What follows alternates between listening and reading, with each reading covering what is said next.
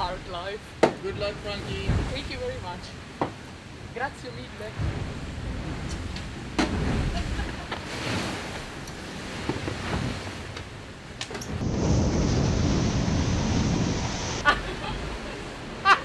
and look at that I'm back.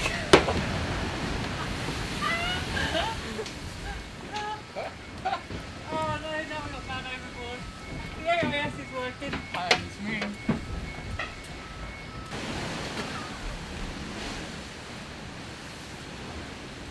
I'm back.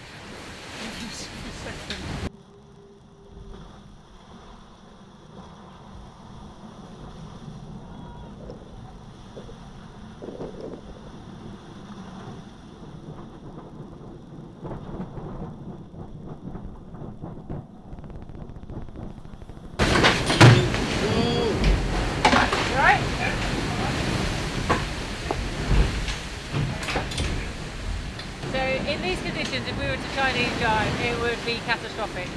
The boom would come across, it would pin itself on the runner that's holding the rig up. The boat would then spin out and lie on its side with the mast in the water. We'd probably break all the battens, if not damage the main, and everybody would not really know what to do and run around like headless chickens. And um, be panicking because while the boat's on its side, it'd probably be filling with water. And we're doing a good job of that just sailing.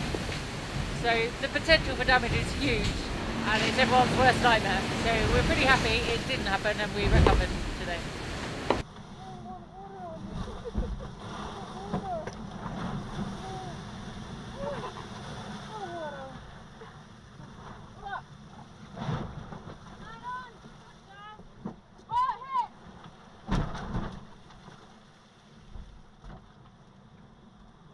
Basically, Lukey had one. He went hammering down a wave, nosedive. Pretty much the rudders came out of the water, I think. The cockpit filled up with water, and then he was heeling over so much. He was so low, he heeled over so much that the water. a bit like that, really. that, the, water came flying down the hatch. Because we were heeling over the wrong way, it went straight on me and my bunk.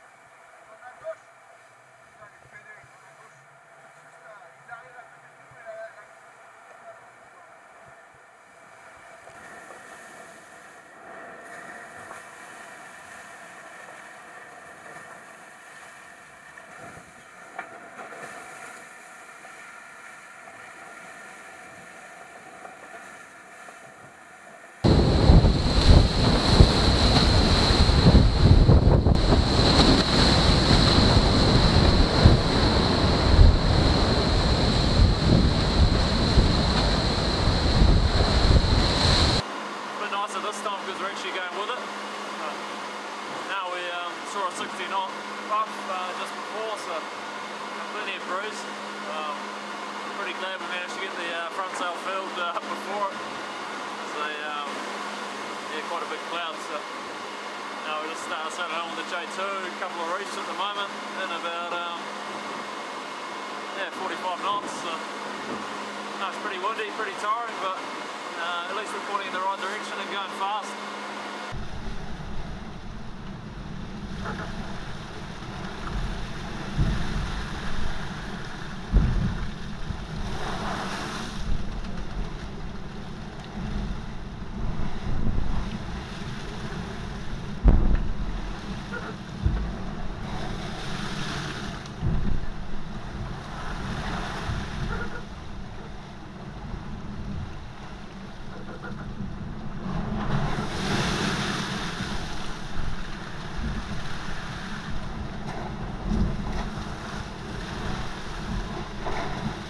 Looks like we're walking the line between speed and safety reasonably well.